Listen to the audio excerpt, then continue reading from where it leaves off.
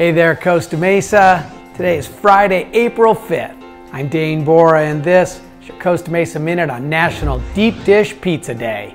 And here in Costa Mesa, it's also the day that we officially open our temporary bridge shelter for those experiencing homelessness in our community. It's truly been a team effort to get to this point in such a short period of time.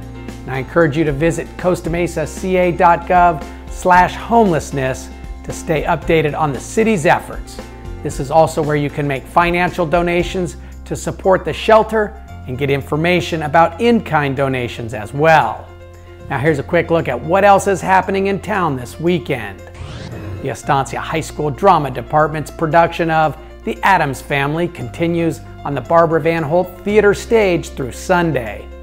Over at the OC Fair and Event Center, the Inflatable Run and Festival joins the Marketplace and the Make It, Take It workshop. At the Segerstrom, there's something for everyone with comedy, song, dance, and more on the weekend calendar.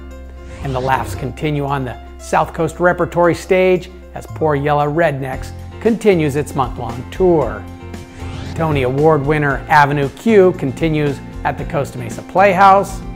And mark your calendars for the following week when Costa Mesa becomes one of just three California cities to host the Wall That Heals, a three-quarter scale replica of the Vietnam Veterans Memorial and Mobile Education Center that will be on display in Balearic Park for four days.